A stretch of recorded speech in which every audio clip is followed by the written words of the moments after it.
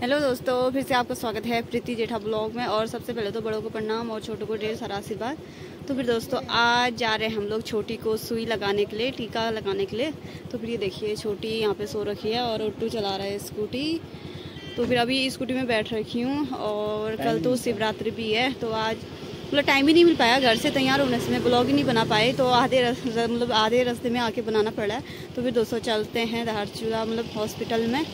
कि यार छोटी को पकड़ रखा है तो वीडियो नहीं बना सकती हूँ ठीक से। और आज गाड़ियाँ स्टेशन में नहीं लगी है तो सारा ये यहाँ लगे हैं चौराहे साइड।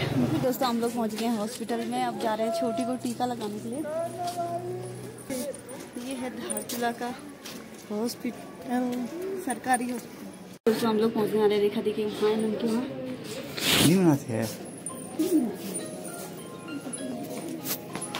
तो फिर दोस्तों ये रही रेखा दी। हाँ काट दे दो। हम लोग पहुँच गए हैं, छोटी से सो रखे हैं यहाँ पे अभी भी।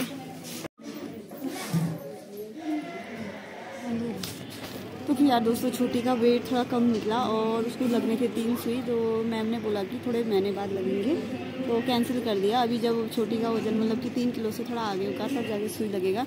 तो अभी हम लोग वापस आ गए हैं और अभी जा रहे हैं हम लोग छोटी का आधार कार्ड बनाने के लिए।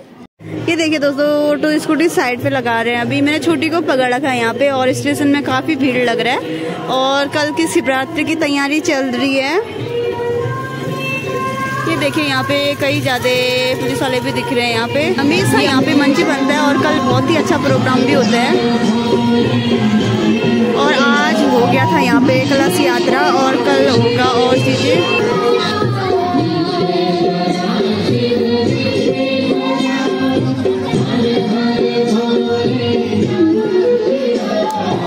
गया दीदी के वहाँ। दीदी अरे दीदी नहीं है तो। मैं सर दीदी है दीदी नहीं पतली कैसे होगी नहीं छोटी कैसे होगी? सोचा वो तो ये रही इसके ऑटो में लिपस्टिक कलश यात्रा के लिए गई होगी ना? कैसा हुआ फिर? लगा दिया? दोस्तों हम लोग पहुँच गए थे दीदी लोग के रूम पे और छोटी को लग गया था भूख तो हम लोग दूध पिलाने के लिए आए थे।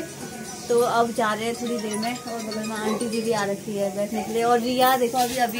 रिया कहाँ गए थे आज? आइसक्रीम खाने। नहीं नहीं आज क्या प्रोग्राम हुआ। अच्छे से बोलना। आज क्या प्रोग्राम हुआ था यहाँ देखिए कुछ भी नहीं हुआ। कुछ भी नहीं हुआ? सुबह कलश कलश यात्रा कलश यात्रा। बाबू तो पीछे पीछे था। देखो रिया इतनी बड़ी हो गई है। अरे बाप रे किसने बनाया साड़ी? तो फिर दीदी लेके आ गया मठा सासू लेके आई थी मठा। तो फिर हम लोग जा रहे हैं अब रूम पे क्योंकि सासू अकेले वहाँ। तो फिर दोस्तों यार हम लोग पहुँच गए हैं। कभी कभी ठंडा चाहिए तुझे कभी गर्म चाहिए।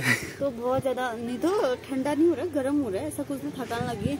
इतना सीढ़ी काटते काटते थक ही जाते हैं यार घर का सीढ़ी बहुत भयंकर है।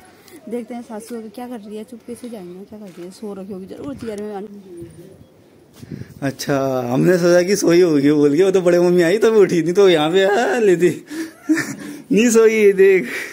हाँ। तो नहीं तो कहाँ यहाँ पे खराटा दे रही होती है। दोस्तों यार घर में पहुँच गए और नीचे अम्मा आ ही रही तब जाके बैठी थी सासू वरना तो रोज बस सुबह से शाम तक चेयर में सोएगी सोई रहती है ना। ये है छोटी का टोकरी अब इसमें सुला दे में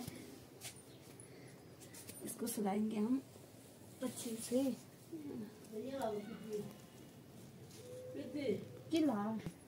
तो फिर दोस्तों आज के ब्लॉग में इतने ही। फिर मिलते हैं आपको एक नए ब्लॉग के साथ।